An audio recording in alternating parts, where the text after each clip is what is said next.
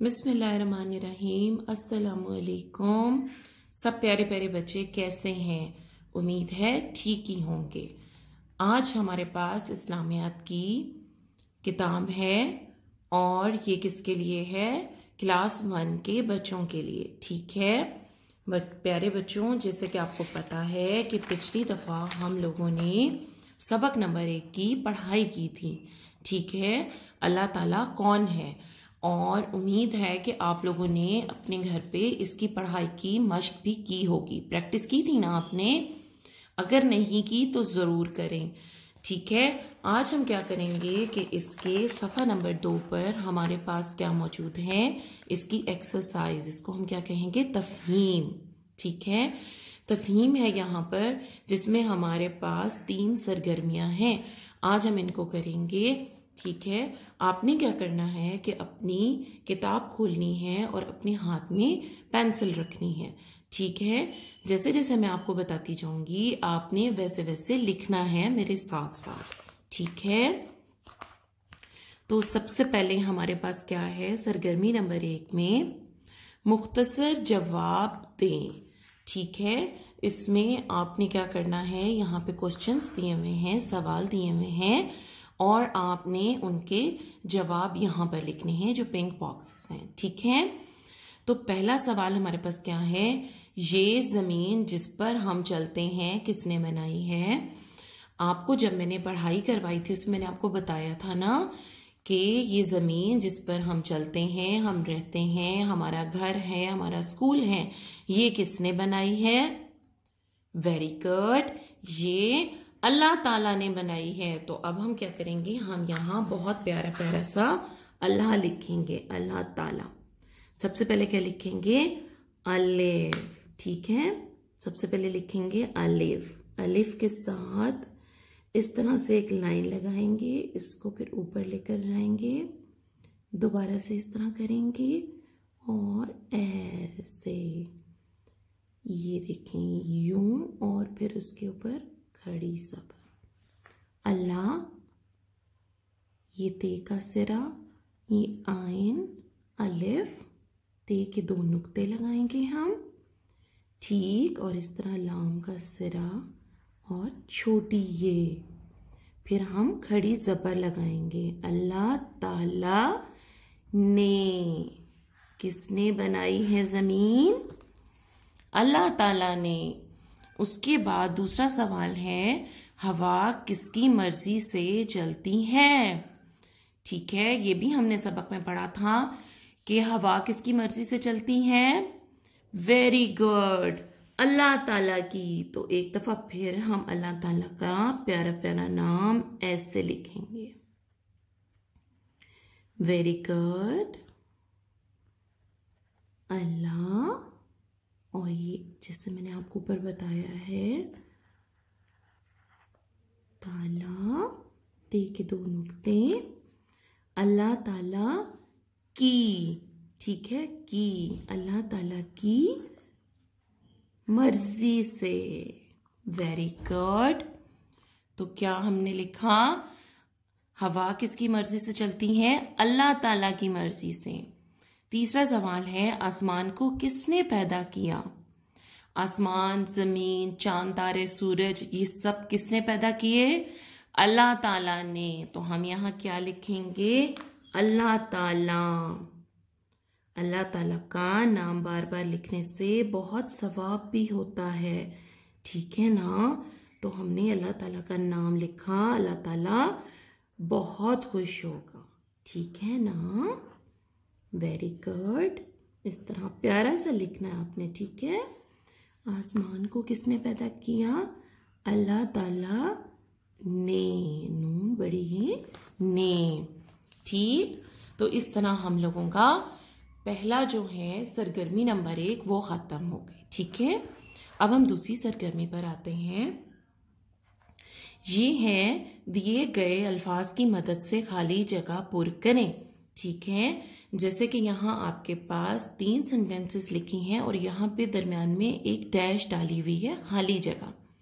इसमें ऊपर बताए गए ये जो तीन लफ्ज हैं, अल्फाज हैं, इन अल्फाज को हमने देखना है कि नीचे किस सेंटेंस में वो ठीक से आ जाएँगे। तो पहला जो है हमारे पास जुमला वो क्या है? हमारे माँ बाप को डैश अल्लाह ताला ने दी। हमने सबक में क्या पढ़ा था कि हमें और हमारे माँ बाप को क्या अल्लाह ताला ने दी? अल्लाह ताला इबादत, ज़िंदगी। तो क्या आएगा यहाँ पे? वेरी गुड ज़िंदगी। वाह भाई, आपको तो याद है। तो सबसे पहले हम यहाँ डालेंगे जे नून का सिरा। इसको हम दाल के साथ चुनेंगे, ऐसे नुक्ता लगाएँगे। फिर हम गाफ का सिरा डालेंगे और इसको छोटी ये के साथ मिलाएँगे, यूँ करके। साथ ही गाफ के दो ऐसे सिरे से डालेंगे। ठीक है? हमने क्या लिखा? हमारे माँ बाप को ज़िंदगी अल्लाह ने दी है। दूसरा हमारे पास है, सिर्फ़ अल्लाह ताला ही डैश के लायक है। तो अब हमारे पास दो अल्फाज बच गए, अल्लाह ताला इबादत। अल्लाह ताला तो यहाँ लिखा है तो यहाँ पे क्या होगा? इबादत, सिर्फ़ अल्लाह ताला ही इबादत के लायक है। आइन का सिरा डालेंगे ऐसे, फिर इसको बे के सिरे से मिलाएँगे ऐसे और फिर अलिफ से मिला देंगे। इबा, दाल और ते इबादत। वेरी गुड तीसरा हमारे पास जो जुमला है, वो है, सब इंसानों को डैश ने पैदा किया। भाई, ये तो हम सबको पता है, ठीक है? क्योंकि हमने इस सबक में पढ़ा ही यही है कि सबको, इंसानों को, परिंदों को, जानवरों को, आसमान, ज़मीन, बादल, बारिश, सब कुछ किसने पैदा की है? अल्लाह ताला ने। तो हम एक बार फिर अल्लाह ताला का नाम यहाँ लिखेंगे। अल्लाह ताला वेरी गुड आपको तो बहुत प्यारा प्यारा लिखना आ गया भाई। अल्लाह ताला ने पैदा किया। अच्छा जी, अगला अब जो हमारे पास है वो क्या है? नीचे दिए गए जुमलों में जो दुरुस्त हैं, इनके आगे टिक का निशान लगाएँ, ठीक है? आपने यहाँ पे जो सही है, उनके आगे टिक का लगाएँगे निशान, और जो गलत है, उनके आगे क्या लगाएँगे? क्रॉस, ठीक है? ये टिक है और ये क्रॉस है। तो ये हमारी सरगर्मी नंबर तीन है। अब हम इसका जो पहला जुमला है वो पढ़ते हैं।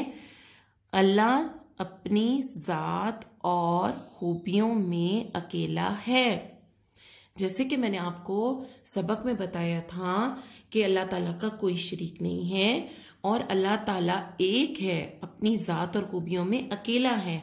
तो ये क्या है? ये बिल्कुल सही है। तो इसके ऊपर हम क्या करेंगे? बहुत प्यारा सा ऐसे टिक का निशान लगाएँगे। वेरी गुड अगला जुमला है, बारिश फरिश्तों के हुक्म से होती है।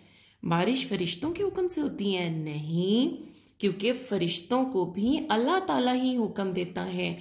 फरिश्ते जो करते हैं, अल्लाह के हुक्म से करते हैं। तो बारिश फरिश्तों के हुक्म से नहीं, अल्लाह के हुक्म से होती है। तो ये सेंटेंस रॉन्ग है। हम यहाँ पे क्रॉस का निशान लगाएँगे। ऐसे। शाबाश। बहुत अच्छे। तीसरा और आखिरी जुमला हमारे पास है, अल्लाह ताला हम सबसे बहुत मोहब्बत करता है। जी हाँ अल्लाह ताला हम सबसे बहुत मोहब्बत करता है। हमें भी अल्लाह ताला से मोहब्बत करनी चाहिए ना? और अल्लाह ताला का शुक्र भी अदा करना चाहिए। तो ये जुमला बिल्कुल ठीक है कि अल्लाह ताला हमसे बहुत मोहब्बत करता है। तो हम क्या करेंगे? इधर एक बहुत प्यारा सा टिक का निशान लगाएँगे। बहुत अच्छे भाई। हमने तो देखें बहुत प्यारा सा अपना काम कर लिया। और हमारा ये पहला सफ़ा मुकम्मल हो गया। तो अब हम क्या करेंगे? कि हम इसको यहाँ पे इसी तरह ख़त्म करेंगे। और इन अगली दफ़ा हम अगला जो दूसरा सबक है, उसको पढ़ेंगे। तब तक आपने क्या करना है कि इसकी पढ़ाई भी दोबारा करनी है। और अल्लाह ताला का नाम जो है, वो आपने अपनी किसी भी कॉपी पर बहुत प्यारा सा करके लिखना है, उसमें कलर करना है, और जो बच्चा ऐसे करेगा, उसको फिर स्टार भी मिलेगा। ठीक हो गया? तो प्यारे बच्चों, आज का हमारा सबक यहीं तक है। इनशाला अगली दफ़ा फिर मिलेंगे नए सबक के साथ। तब तक के लिए अल्लाह हाफिज़, अपना बहुत ख्याल रखिएगा।